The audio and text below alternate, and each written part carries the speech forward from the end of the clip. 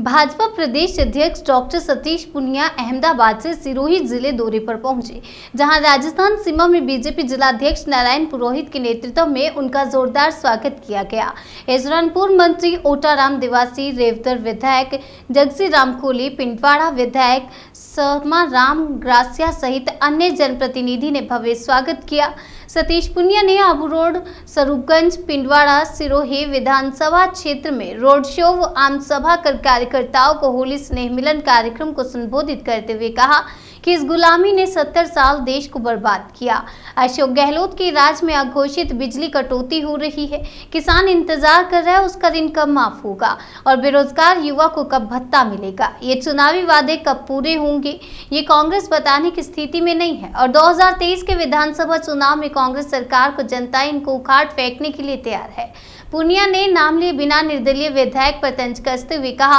कि खानदान के गुलाम हैं, जबकि भारतीय जनता पार्टी के नेता व कार्यकर्ता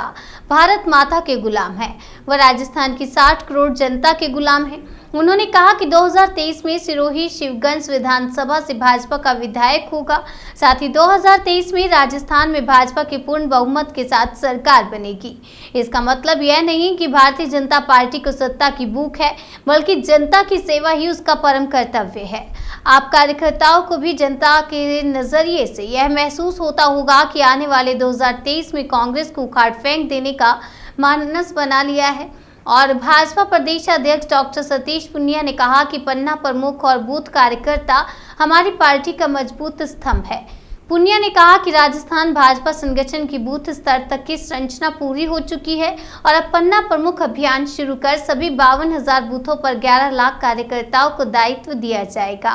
उन्होंने कहा कि 11 लाख कार्यकर्ताओं की यह फौज राजस्थान की भ्रष्टाचारी और दधम्बी कांग्रेस सरकार का सामना करने के लिए तैयार होगी।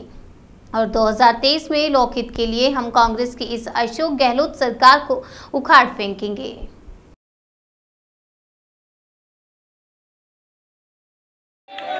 और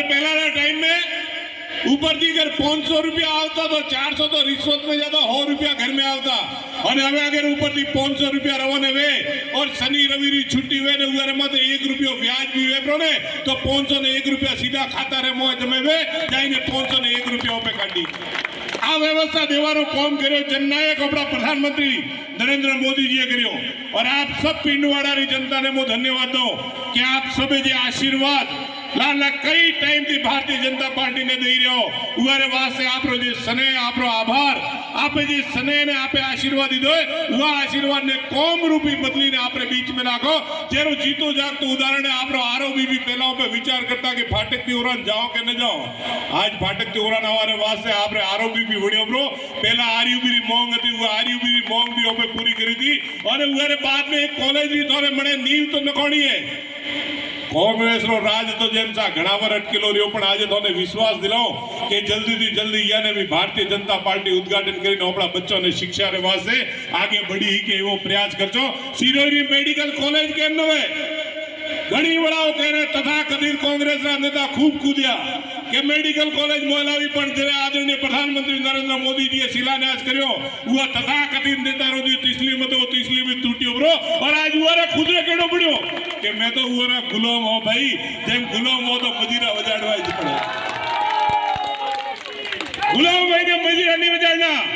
જન સેવક બનીને જનતાની સેવા કરવી નરેન્દ્ર मोदी નો સપનો હે और जन सेवक बनीने जरे जनतानी सेवा करे हुआ टाइम रे मो देश रे मो डंको वजे और विदेश देखिए तो भारतीय जनता पार्टी के मोदी जी के राज में देखी मुझे अच्छे तरीके से ध्यान है कि हमारी आदिवासी माताएँ और बहनें, भले ही झोपड़ी होगी, लेकिन उनके सुरक्षा और सम्मान का इज़्ज़त घर शौचालय किसी ने बनाया है तो देश के प्रधानमंत्री नरेंद्र मोदी जी ने इन माताओं बहनों को सम्मान दिया मैं उन क्षेत्र के उन आदिवासी भाइयों को जा, जानता हूँ जो हर दौरे में मकान की एप्लीकेशन देते थे अर्जी देते थे कि साहब मेरे गरीब की झोपड़ी है मकान कब मिलेगा कब मुझे पैसा मिलेगा? उस आदिवासी को सर पे छत देने का काम किसी ने किया? तो देश के प्रधानमंत्री नरेंद्र मोदी जी ने किया।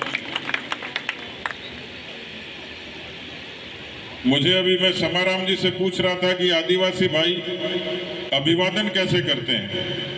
जय गुरु महाराज बोलते हैं क्या बोलते कहते सब राम राम ही करते हैं तो मेरी तरफ से भी मैं जयपुर से आके आपको राम राम करने आया हूँ होली की राम राम करने के लिए आया हूँ खुशी की बात है पूरा भारत रे जो बार कांग्रेस થી આપણા ભાઈ જે આપણે હાથે આયા વિકાસનો હાથ પકડ્યો આપણે વિકાસ જે હે હુઆ વિકાસ રે હાથે હલવા રે વાસ્તે આદરણીય નરેंद्र મોદीજી રા नेतृत्व में જે ભારત દેશ વડી રહ્યો હે જે ભારત દેશ નિરંતર આગે હેલી રહ્યો હે હુઆ ભારત દેશ રી વિકાસ રી કડી મે પોતાને ભી જોડવા રે વાસ્તે જે કોંગ્રેસના કાર્યકર્તા બંધુ ભી ભારતીય જનતા પાર્ટી જોઈન કરી હું ઉવારો ભી સ્વાગત કરો કે આપ રો ભી યા ઘર મે સ્વાગત હે ઓપે સબ જણા મળીને યા વિકાસ ની ગતિને લઈને આગે લાવો